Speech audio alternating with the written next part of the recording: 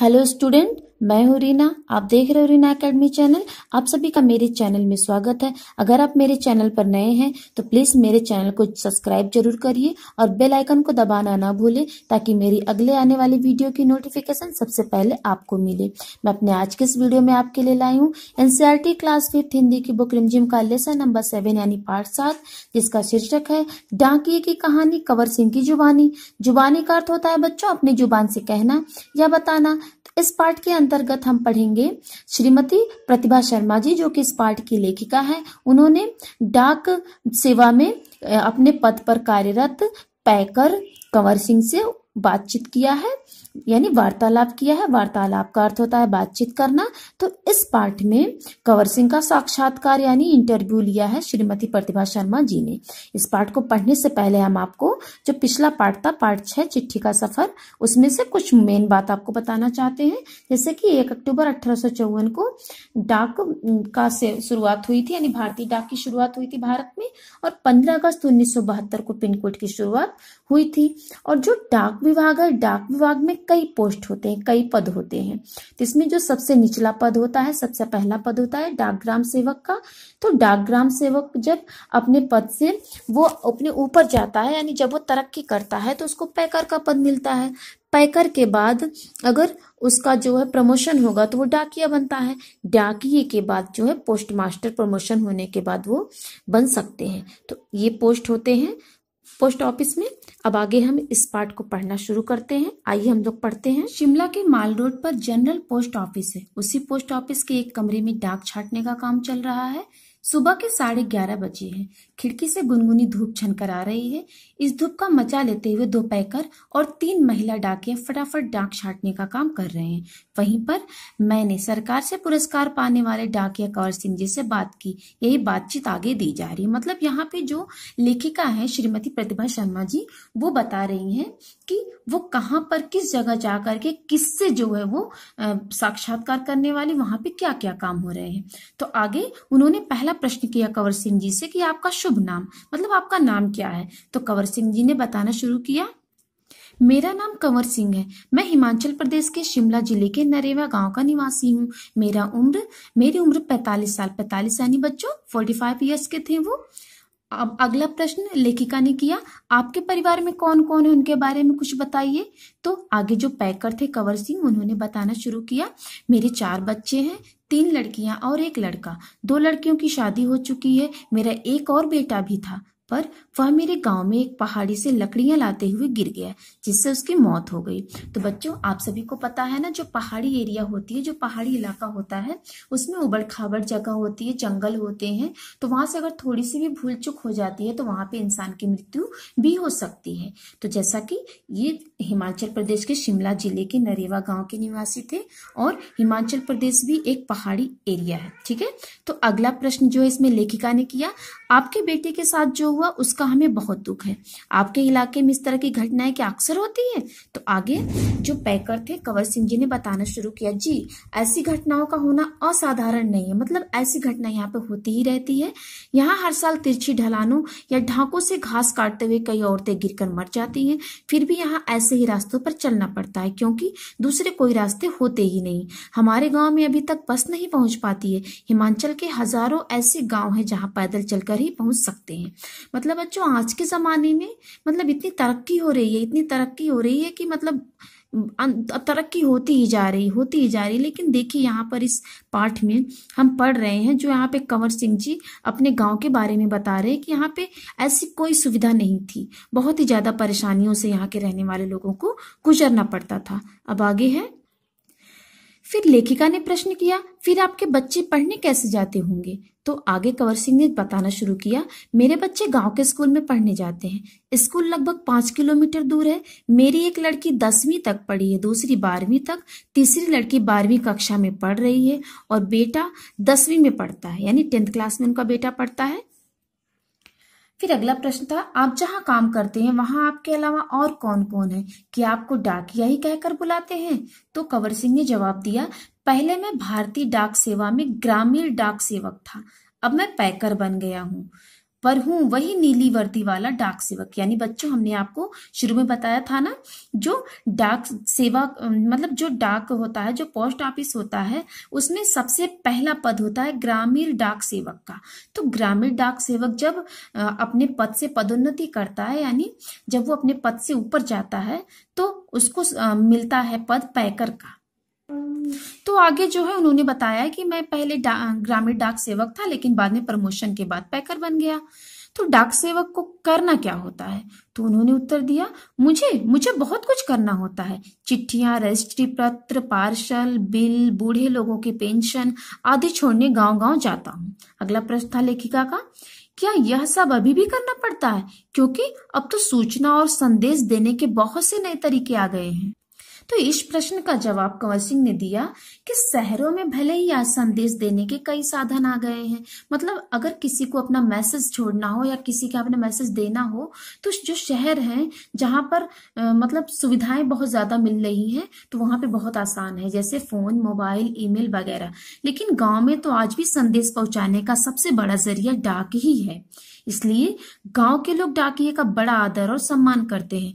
अपनी चिट्ठी आदि पाने के लिए डाकिए का इंतज़ार करते रहते हैं। अगला प्रश्न था, हमने सुना है कि हमारी डाक सेवा दुनिया की सबसे बड़ी डाक सेवा है। यह भला कैसे? मतलब ये प्रश्न लेखिका ने किया तो आगे कंवर सिंह ने जवाब दिया, सुना तो आपने बिल्कुल ठीक है। हमारे देश की डाक सेवा आज भी दुनिया की सबसे बड़ी डाक सेवा है और सबसे सस्ती भी। केवल पाँच रुपए में देश के किसी भी कोने में हम चिट्ठी भेज सकते हैं। पोस्ट कार्ड तो केवल पचास पैसे का ही है। यानी पचास पैसे में ही हम देश के हर कोने में अपना संदेश भेज सकते हैं। तो बच्चों, ये कुछ बातें हमारे भारतीय डाक सेवा की है।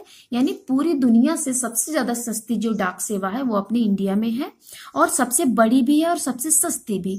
आप केवल पाँच रुपए में अपने देश के किसी भी कोने में आप चिट्ठी भेज सकते हो। तो ये खासियत हमारे डाक सेवा की। अब आगे है। श्रीमती प्रतिभा शर्मा लेखका ने अगला प्रश्न किया, आपको अपनी नौकरी में मज़ा तो बहुत आता होगा? यानी, आपको अपनी नौकरी करने में कितना अच्छा लगता है? ऐसा कुछ उनका प्रश्न था तो उन्होंने जवाब दिया, मुझे अपनी नौकरी बहुत अच्छी लगती है।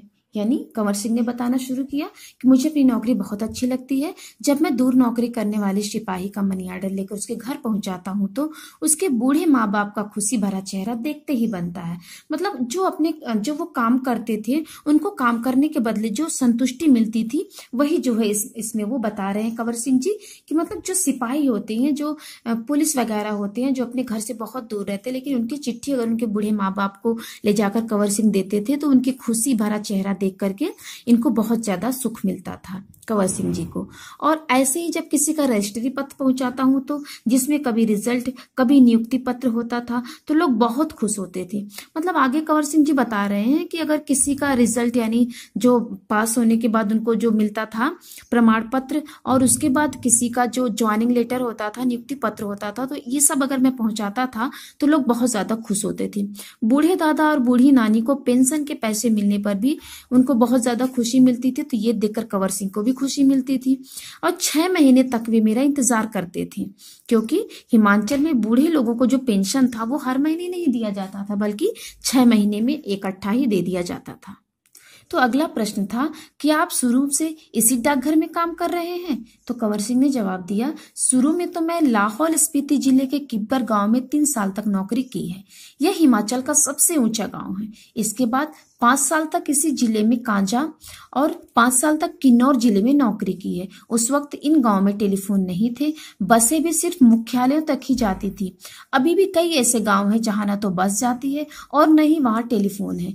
ऐसी जगह में ग्रामीण डाक सेवक का बहुत मान किया जाता है। मतलब ऐसी जगह जहाँ पे कोई मैसेज पहुँचाने का कोई ज़रिया, कोई साधन ना हो, टेलीफोन ना हो, मोबाइल फ़ोन ना हो तो इन इलाकों में जो ग्रामीण डाक सेवक होता था, उनकी बहुत इज़्ज़त की जाती थी। अगला प्रश्न है, आप पहाड़ी इलाके में रहते हैं, ज़ाहिर है डाक पहुंचाना आसान काम तो नहीं होगा? इसका उत्तर कंवर सिंह ने दिया बच्चों। तो आगे कंवर सिंह ने जवाब दिया हाँ मुश्किलें तो आती ही हैं। जब मैं किन्नौर ज़िले के मुख्यालय रिकांग पीओ में नौकरी करता था तो सुबह छह बजे मेरी ड्यूटी शुरू हो जाती थी। मैं छह बजे सुबह शिमला जाने वाली बस में डाक का बोरा रखता था और रात को आठ बजे शिमला से आने वाली बस से डाक का बोरा उतारता था। पैकर को ये सब काम करने पड़ते हैं। किन्नौर और लाहौल स्पीति। बच्चों, किन्नौर और लाहौल स्पीति जो हिमाचल प्रदेश का सबसे ठंडा और ऊँचा जिला है। ये बात आप याद रखिएगा। इन जिलों में अप्रैल महीने में भी बर्फबारी होती है, यानी यहाँ पे बर्फ़ पड़ने लगती है। बर्फ़ में चलते हुए पैरों को ठंड से बचाना पड़ता है, वरना स्नोबाइट जो कि एक रोग है, ये रोग हो जाते थे जिसमें पैर नीले पड़ जाते थे, उसमें गैंग्रीन हो जाती थी। गैंग्रीन मतलब उंगलियाँ झड़ सकती थी। इन जिलों में, आगे कवर सिंह बता रहे हैं, इन जिलों में मुझे एक घर से दूसरे घर तक डाक पहुँचाने के लिए लगभग 26 किलोमीटर, यानी 26 किलोमीटर रोज़ाना चलना पड़ता था। हिमाचल के एक गाँव से दूसरे गाँव की दूरी लगभग चार या पाँच किलोमीटर तक होती है। हिमाचल के गाँव छोटे छोटे होते हैं। एक गाँव में बस आठ से दस या कभी कभी छह सात घर भी होते हैं। इसलिए चलना काफ़ी पड़ता है। चलना तो खैर हमारी आदत में ही शामिल हो चुका है। ग्रामीण डाकिए की ज़िंदगी में तो चलना ही चलना है। तो कुछ ऐसा जवाब दिया था कंवर सिंह जी ने। अगला प्रश्न था लेखिका का। आपने बताया था कि पहले आप डाक सेवक थे, अब पैकर है। इसके आगे भी कोई प्रमोशन है क्या? तो कंवर सिंह ने जवाब दिया, पैकर के बाद डाकिया बन सकते हैं। बस एक इम्तहान पास करना पड़ता है, यानी एक एग्ज़ाम देना पड़ता है। और उस एग्ज़ाम में पास होने के बाद हम पैकर के बाद डाकिया बन सकते हैं। अभी तो काम के हिसाब से हमारा वेतन, यानी हमारी जो सैलरी है वो बहुत कम है। सारा दिन कुर्सी पर बैठकर काम करने वाले बाबू का वेतन कहीं ज़्यादा होता है। पैकर का वेतन बाबू के जितना ही हो जाता है। अब तो डाकिए की नौकरी में लगना भी बहुत मुश्किल है। हम में से जितने डाकिए रिटायर हो चुके हैं, उनकी जगह नए डाकियों को नहीं रखा जा रहा है। इसलिए पुराने डाकियों पर काम का बोझ दिन प्रतिदिन बढ़ता ही जा रहा है। न जाने आने वाला समय कैसा होगा।